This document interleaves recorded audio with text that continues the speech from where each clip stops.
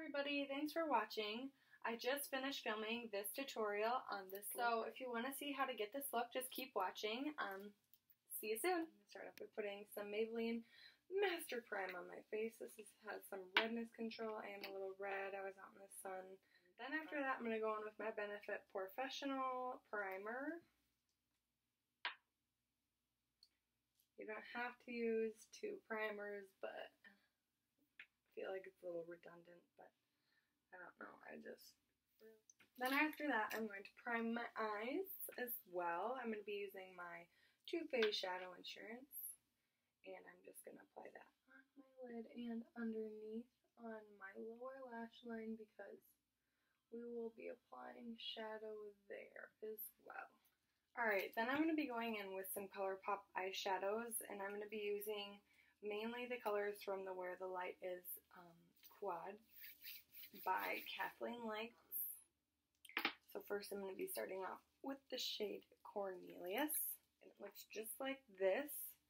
And I'm going to go in and I'm going to be taking the Real Techniques Deluxe Crease Brush. And just focus this mainly in the crease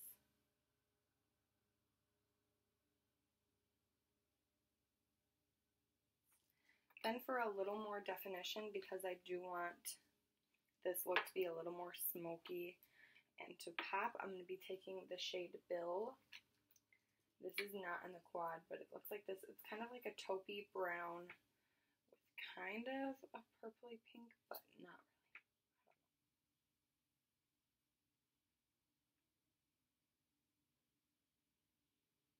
really.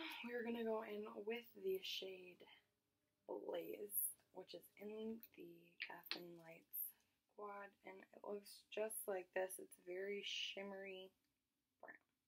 Looks just like this. It's a very shimmery brown, and I'm going to be taking my finger because really it's just going to work better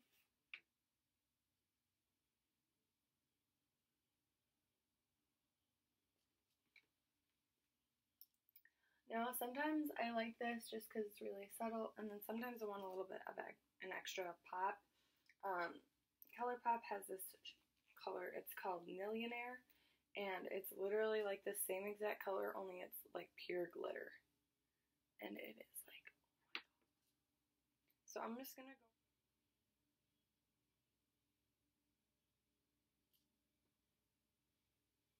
I feel like it just has more definition.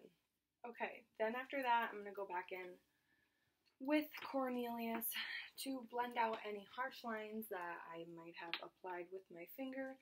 Only this time I'm going to be taking the shader, the base shadow brush by Real Techniques. And really kind of just patting it on there because you want to blend it out. Towel. And then I'm going to go back in with the shade Bill and just really add more depth.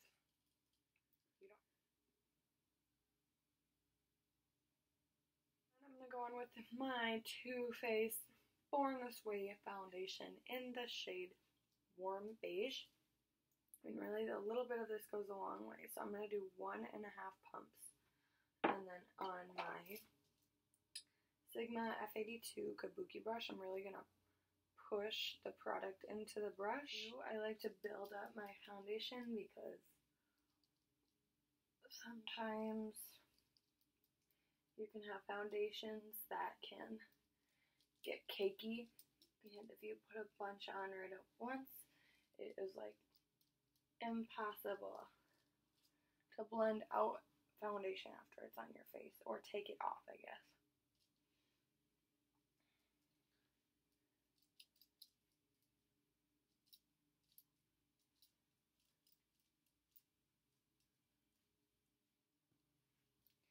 The purpose of this foundation is to make your skin look natural and really you can see my freckles through it like you can see anything but I also like it because it is medium coverage so it will cover up your redness or your blemishes or whatever it is that you may not want people to see but it does still like I can still see my freckles and my beauty marks whatever I have, I can still see it and I really like that. Then I'm going to go in with my L'Oreal True Match Concealer in the shade Light Medium and just, cool, good job Kerri. And I'm going to conceal, and I'm going to blend it out with a damp beauty blender.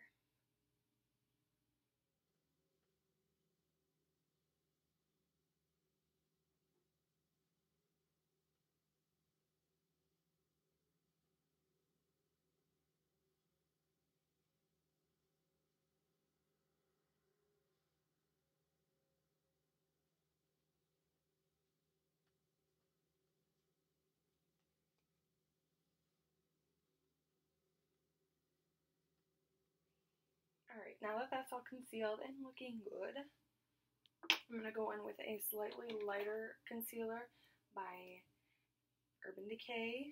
And I'm just going to dot it on my face because it is lighter than my skin. I don't want to use too much of it, otherwise I can look washed out. And yada yada yada. Plus I don't want to waste it because it is spendy.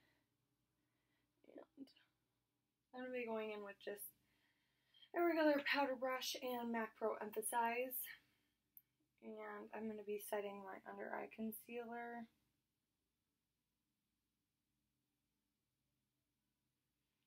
You always want to dab first, then rub, or if you want to rub, because if you just rub right away, you can move the product in places that you don't want, and it'll settle, and it'll crease, and you don't want that. Look like I got punched in the eye?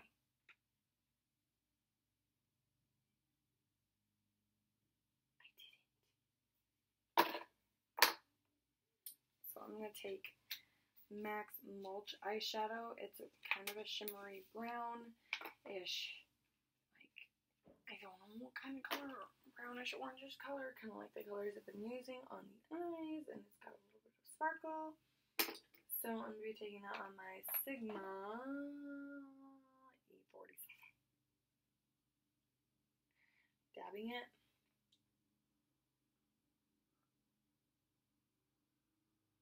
Alright, then with my Morphe S25, I'm going to be taking my e.l.f. Eyebrow Kit in the shade Light. I'm taking the brown waxy color on the left and smudging it in there and applying it with my MAC Pro Longwear Waterproof Brow Sets in the shade Bold Brunette.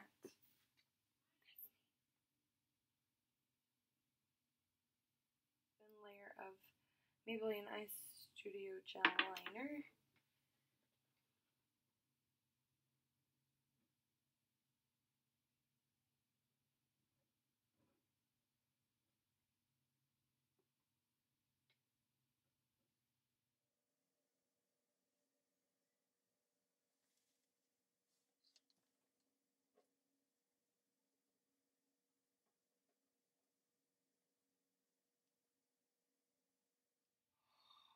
Five oh nine. The I've used it so much already that the number is coming off.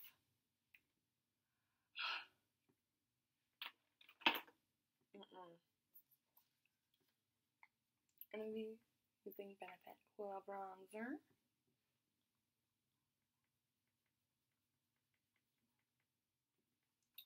Alright, then with the stippling brush by Real Techniques, I'm going to be taking some Mary Kay blush in the color Bold Berry to it. And dabbing it on there. Little goes a long way, people. And just lightly applying that from two colors of Lippie Stix from ColourPop. I'm going to be going in with Cookie first.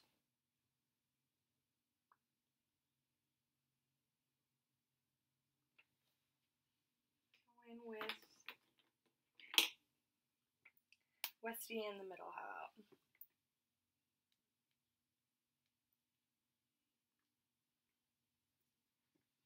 Just for a little bit of a pink.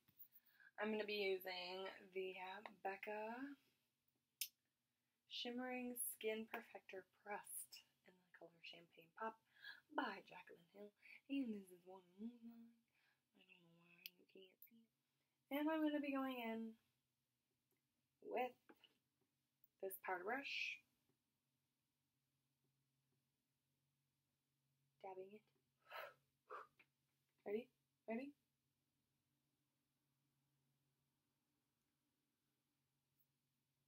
What? And then we're gonna go in with a little bit more. We're not done yet. You just wait.